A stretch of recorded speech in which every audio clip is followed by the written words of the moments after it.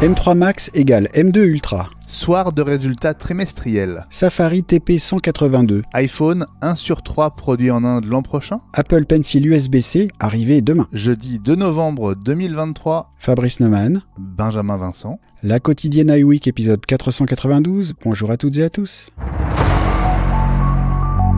Le M3 Max est aussi puissant que le M2 Ultra qui est constitué, je vous le rappelle, de deux processeurs M2 Max. Frédéric Crassa nous en parle dans le prochain numéro d'iWeek La Apple, attendu dans les heures qui viennent. C'est aussi ce que confirment les tout premiers benchmarks réalisés sur un MacBook Pro M3 Max.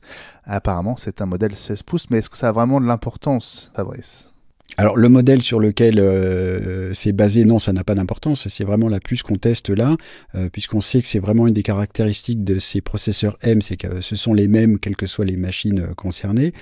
ce sont des résultats de nouveau très impressionnants, avec des résultats en, multicore de près de 11 000, en, en monocœur de, de 3 000. c'est des résultats très très très très hauts. C'est vraiment, euh, ça a l'air d'être une réussite.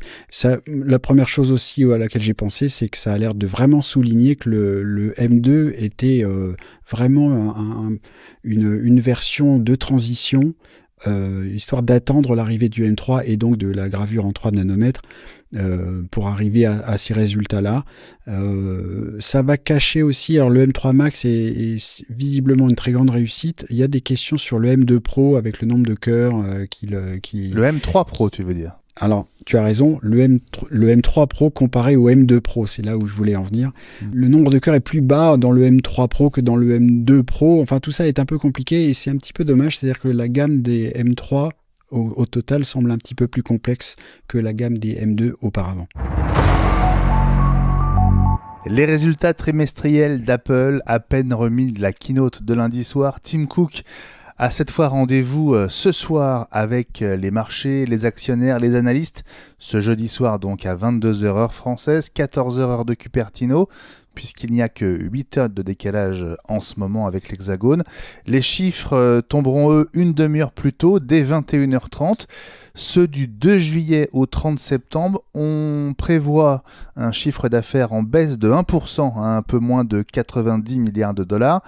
Et Fabrice, on va aussi sans doute avoir les premiers tours sur le lancement de la gamme iPhone 15. Oui, effectivement. Alors là, euh, on s'attend euh, probablement à un bon lancement de l'iPhone 15, parce que notamment de l'iPhone 15 Pro, euh, avec toutes ses qualités, et notamment qui ont été démontrées pendant la keynote Scary Fast, puisque, rappelons-le, elle a été tournée à l'aide d'un iPhone 15 Pro Max, euh, ça a été quand même euh, une grande réussite de ce point de vue-là, au, moins marketing et aussi pour la, qualité des images. C'est même à se demander si justement cette euh, keynote Scary Fast qui a été annoncée un peu à la grande surprise générale et qui a donc eu lieu 2-3 jours avant les résultats, n'était pas là pour donner un petit peu de baume au cœur aux analystes qui ensuite vont peut-être avoir ce soir de mauvaises surprises.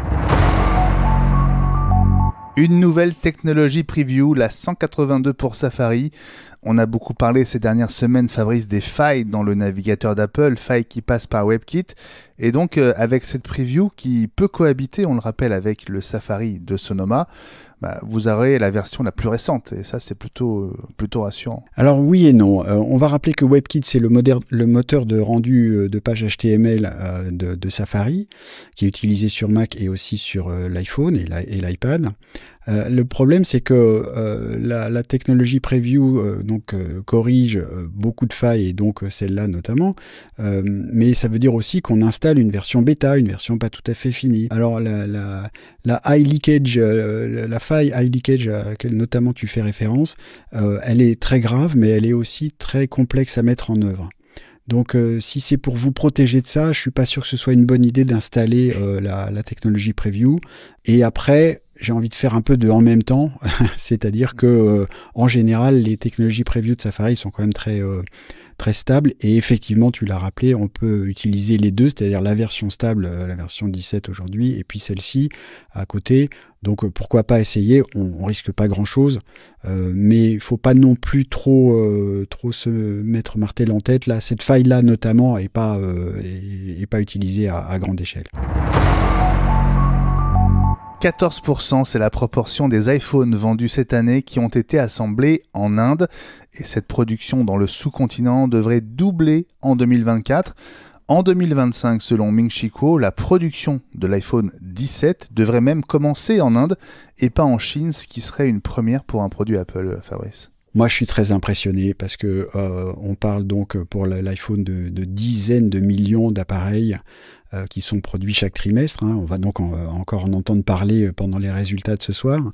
Euh, et ce, changement opéré qui a commencé depuis quelques années, mais pour essayer de sortir un peu la production de la Chine pour ensuite la distribuer dans d'autres pays à une telle échelle, je trouve que ça va à une vitesse folle euh, pour être capable de, transférer donc la production, rappelons-le, de dizaines de millions d'appareils en quelques années seulement, euh, vu les investissements que ça demande et euh, la construction d'usines, la formation de, de gens, c'est absolument hallucinant d'y arriver en quelques années seulement.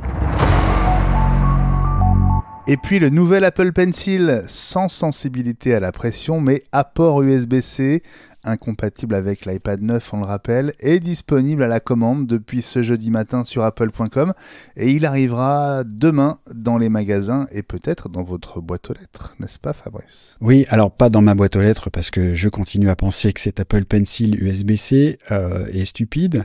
Euh, j'en profite pour euh, corriger, on l'a souvent appelé Apple Pencil 3, alors effectivement ce n'est pas le nom officiel, c'est le troisième qui est sorti dans la gamme Apple mais il ne porte pas le, le numéro 3. C'est encore euh, un, ajout à la stupidité de la chose.